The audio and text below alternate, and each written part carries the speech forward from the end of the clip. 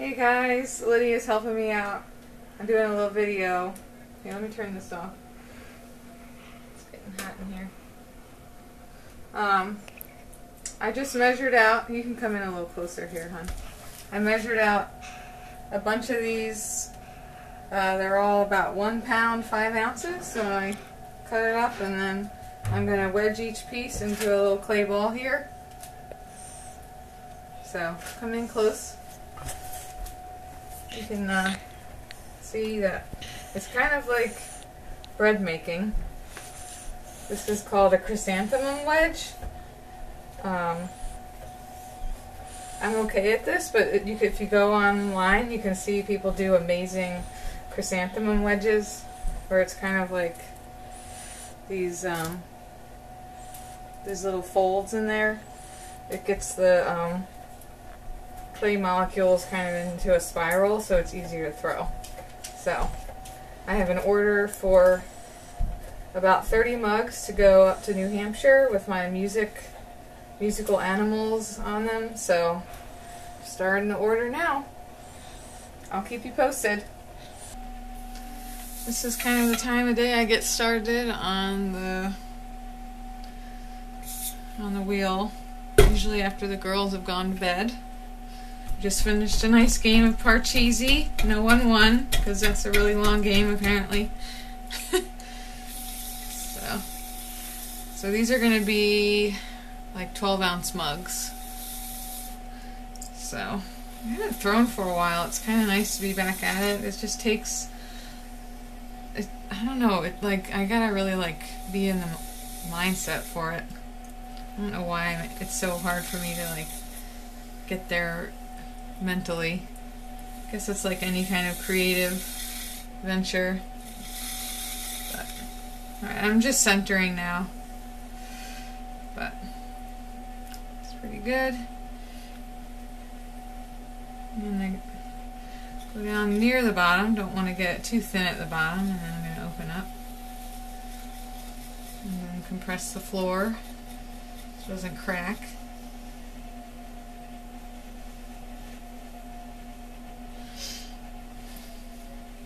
First pull up. Compress the rim again.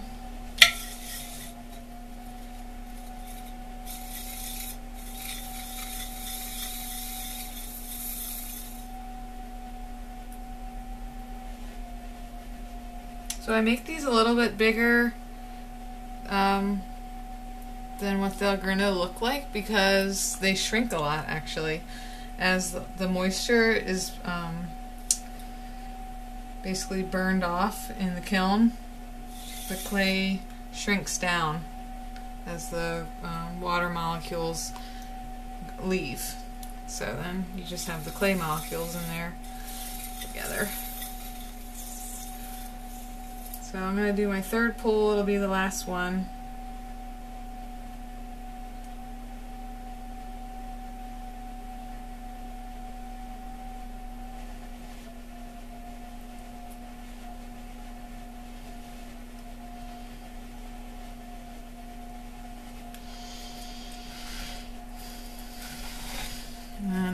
Just kind of clean it up.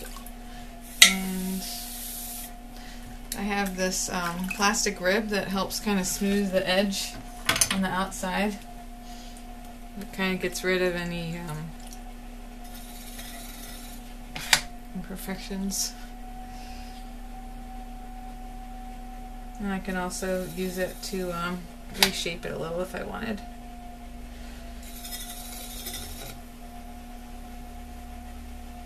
So I've tried to make these animal mugs um, different shapes, like slightly rounded, out like a belly, and it's just really difficult to put the decal on when it's not like flat.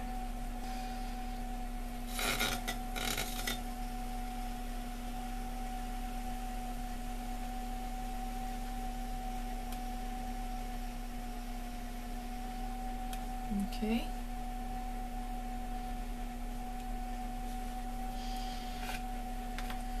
Just going to get the water out of the bottom here and then it'll be done.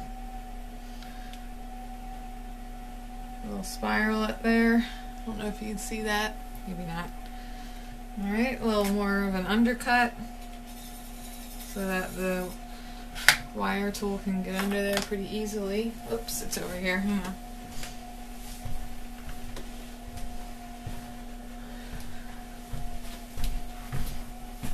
I'm sorry, and I forgot. I got my chamois here. I'm just gonna make the rim really nice and smooth with the chamois.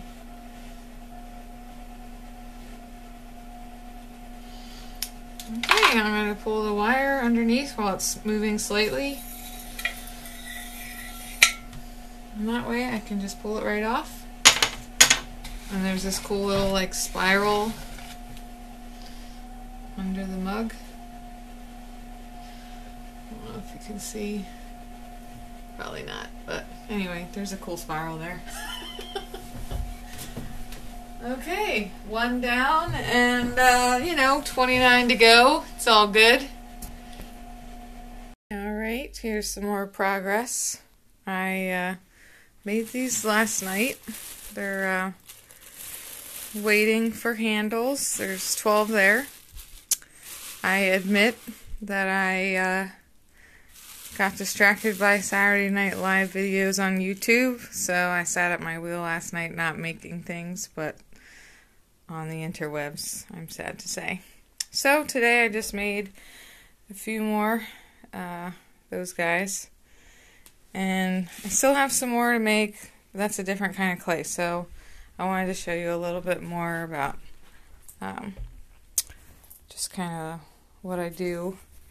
Um, I'm going to make these little carrots to make the handles. So um, basically I did the chrysanthemum wedge there, and then there's so many different ways to make handles, but I'm just gonna kind of rock it onto the edge there and then pound it down, and that'll elongate. See, it's already getting longer.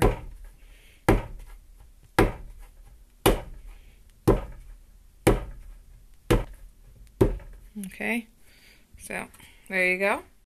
Okay, just saying, looks like somebody uh, stepped on my mugs last night.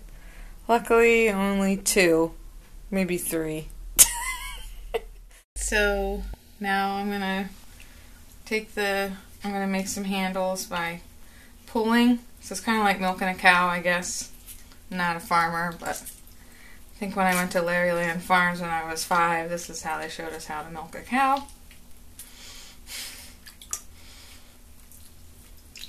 So you can already see it stretching out. I try to pay attention to the um, um, the rim of the mug. The thickness of the rim will kind of like help me gauge how uh, thick I want to do the handle. Not always, but that's kind of what I learned at Greenbridge. That's how they do it. But the world of clay is opening up before me. And I'm realizing there's so many different ways to do things. So, it's almost a crisis of faith in the pottery world. it's like, oh my gosh, where do I even begin? There's so many different ways to do it. But, um, so there's a handle. I mean, it's a big one, but I can cut this into like three handles.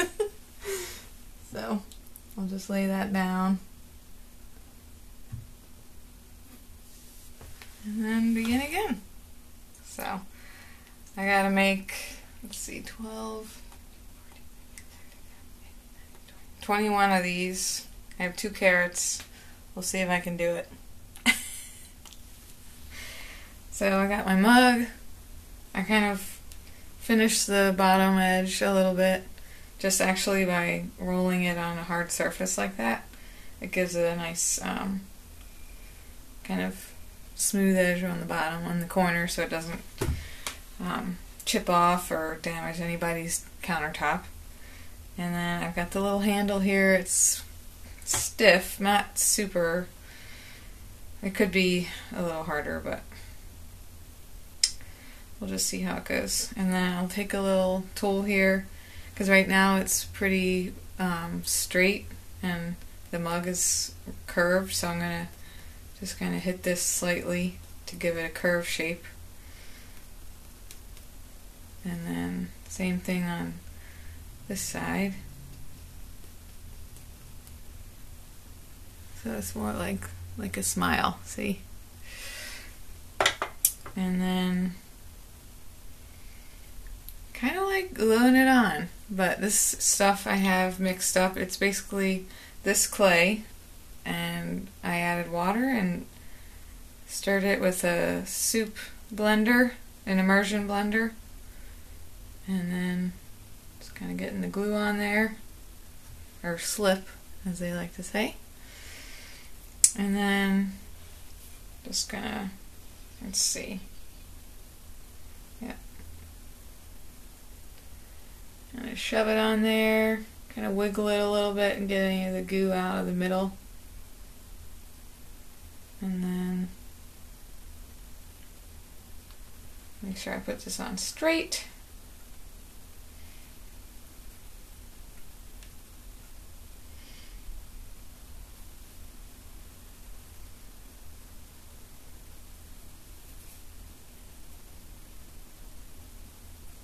It's like trying to find the fine line of like what is perfection because if we wanted something that was like everyone was the same, just go to Target and buy one.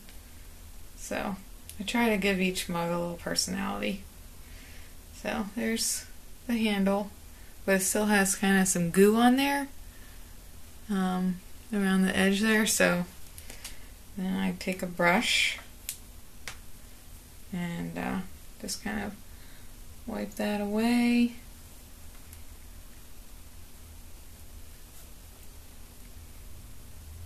If I left it on there, it would just kind of harden like the rest of the clay and then it, you would see it. So I want to get rid of that.